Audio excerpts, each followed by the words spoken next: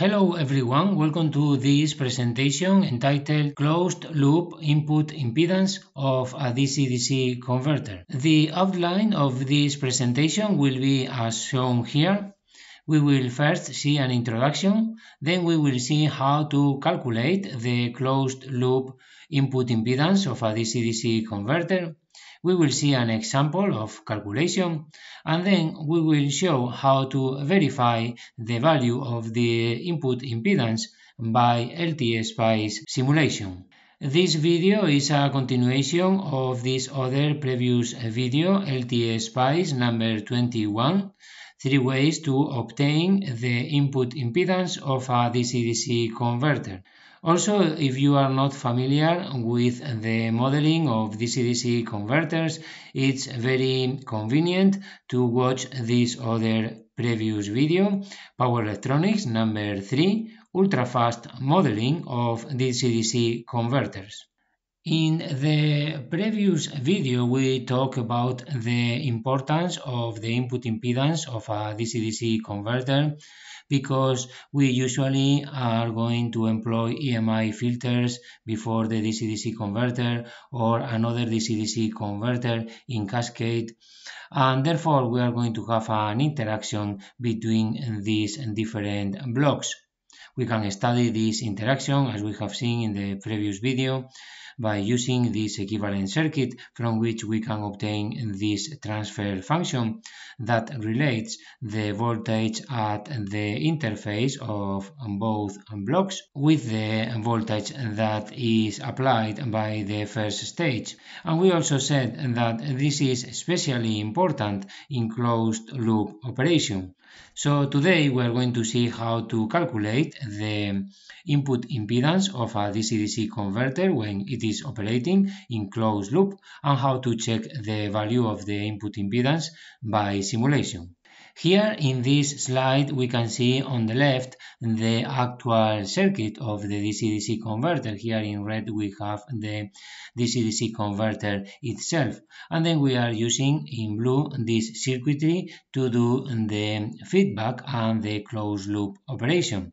We know this very well. So from this and taking into account the modeling procedure that we have seen in this previous video, Power Electronics number 3, we can obtain in red the small signal circuit of our DC-DC converter.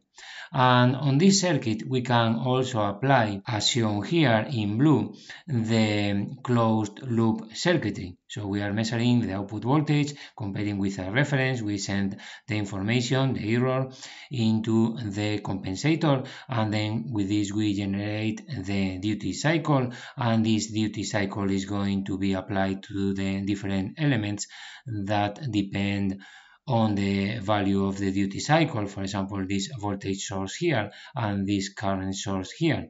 So this is our equivalent circuit in a small signal and in closed loop operation.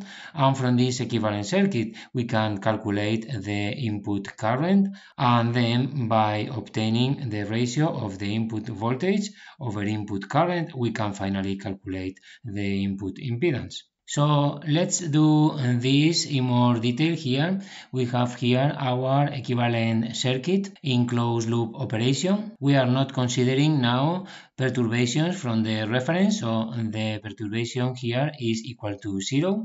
And then by analyzing this circuit, we can obtain these four equations very easily. And solving this system of equations, we can obtain finally the input impedance of our converter. So here we have the final expression where we have in red the different elements and in blue we have the transfer function corresponding to the compensator. So this is a general expression that can be used for any transfer function used for the compensator. There are important points for the input impedance of our converter.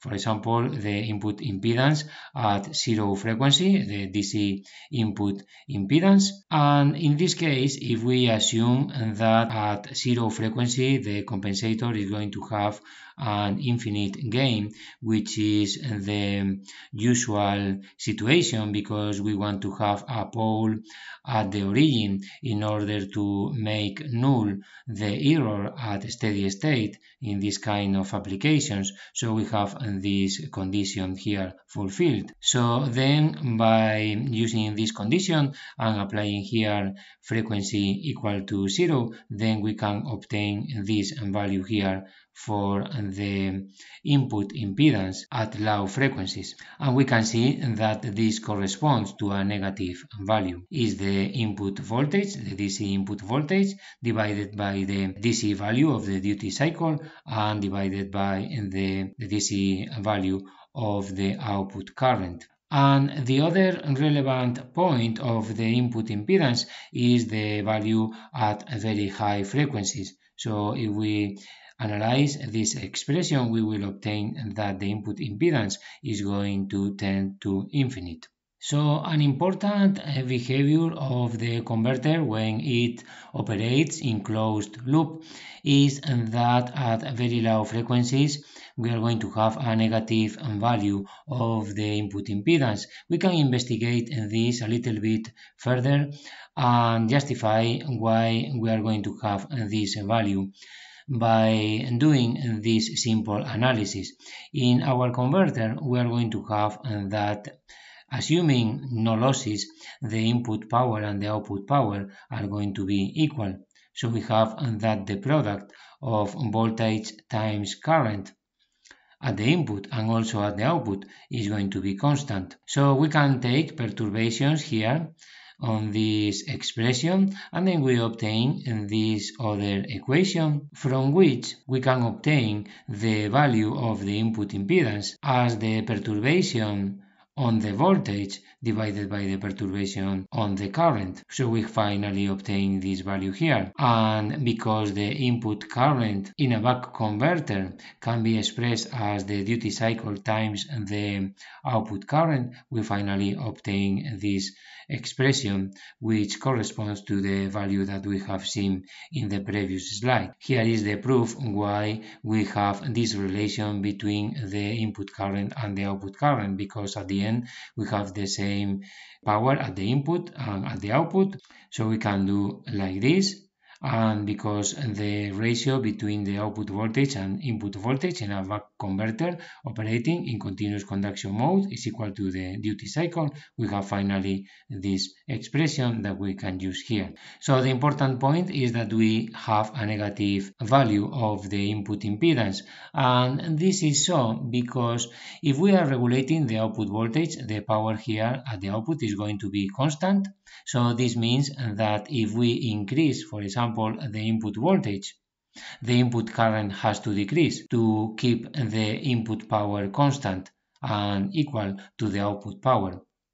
So this is the reason why we have a negative value of the input impedance at low frequencies. Now let's see an example with this converter that we have used before in the previous video, LTSpice number 21 and we are implementing the closed loop operation using a simple compensator as shown here is a PI compensator with a pole at zero frequency and then a zero at this frequency omega z and we are placing this zero at the same frequency as the resonant frequency of the LC filter of our converter.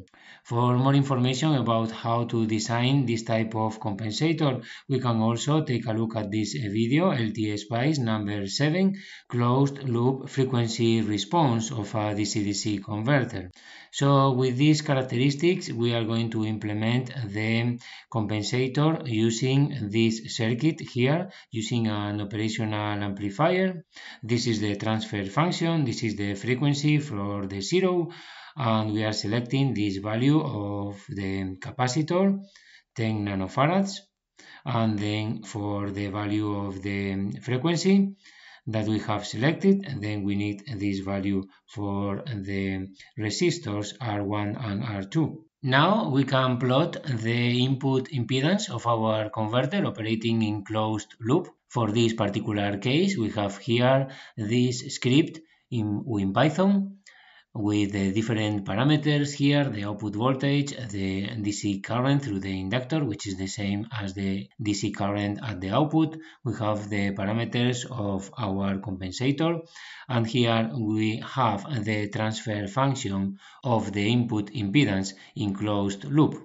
With this statement, we can do the representation and here we are uh, printing several values of the input impedance at different frequencies. Then here we can see the magnitude of the input impedance in closed loop and the phase of the input impedance. We can see that at very low frequencies we have this value which has a phase of 180 degrees as we have seen before. Here we have the values at the different frequencies for comparison with our simulation.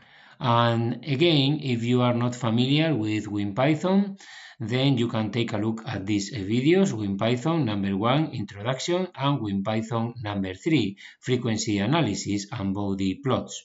This is the schematic of our buck converter. Here we have the converter uh, this is similar as in the previous video LTSpice number 21, but now we are adding the closed loop operation with the compensator, the limiter, and sending this information into the PWM comparator. So again, we are injecting here the signal to inject the perturbation on the input voltage and measuring here the Eh, voltage proportional to the current through the input.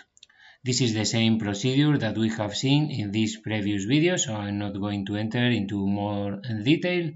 And then we can see the results in the next slide. So here we have the input impedance obtained from the simulation of the actual circuit. In the solid line here we have the magnitude in dBs and, then here we have the phase also of the input impedance and we can check that the values are very similar to those obtained from the theoretical analysis. Of course, when we are getting close to the switching frequency, which in this case is 200 kHz, we start having some noise and these are not, of course, reliable measurements. As we have seen also in this previous video, LTSpice number 21, we can also measure the input impedance using this circuit, which is the average circuit of the buck converter operating in continuous conduction mode. So we add here the uh, feedback, the compensator, the limiter, and then we are acting here with this uh, voltage here on the voltage source and on the current source of the converter. We are injecting again a sinusoidal signal here to do the perturbation and measuring the current at this point and the voltage at this point using this uh, equivalent voltage source. And here we have the results of the simulation. So we can see again in the solid line the magnitude of the input impedance and in the discontinuous line we have the phase of the input impedance and also again the values match very well with the theoretical analysis. In this case we are not seeing any effect close to the switching frequency because we are using the average circuit so we are getting rid of the switching frequency effect. And finally, the last possibility to obtain the input impedance of our converter is by using the small signal circuit that we have seen before in previous videos. So again, we add the feedback, the compensator, we can even add the limiter, but now we are injecting the perturbation on the voltage source VB using the parameter AC of LTSpice and then we are going to perform an AC analysis on the circuit. So what we have to do is to measure the current at this point and obtain the reciprocal value of this current in order to get the input impedance of the converter. We have explained this in this previous video, so please take a look at it in case that you have any doubt. Finally, these are the results that we have obtained from this uh, simulation of the small signal circuit. We are representing, as we have seen, 1 over the voltage proportional to the current. 1 is because what we are injecting as perturbation is 1 volt and divided by the current, so we have the impedance we can check that the results are the same as we have seen before and they match very well the theoretical analysis and we have here one of the points that we obtained from the WinPython script and we can see that the value is almost the same. Well, this is all today in this presentation. I hope that you find this video useful for you Please let me know if you have any comment or question. Thank you very much for watching and I hope to see you in the next video. Goodbye now.